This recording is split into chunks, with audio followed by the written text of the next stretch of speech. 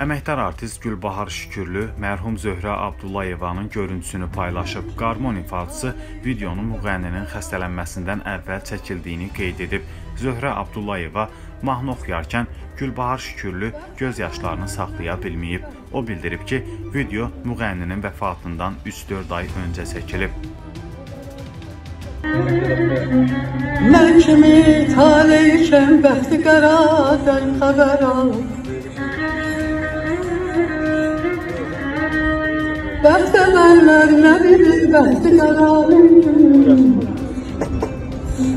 Göz yaşından xəbər al, söz cəfadan xəbər al Bu səs bilirsiniz nə kimdir? Azərbaycanımızın dəyərli sənətkarı. Gözəl ifaçı. Xalq artistimiz. Dəyərli insan. Gözəl xanım. Zöhrə xanım burada iştirak edir. Bizim çox dəyərli qonaqlarımız sırasında. Həqiqətən də çox gözəl. Ağlama da gülür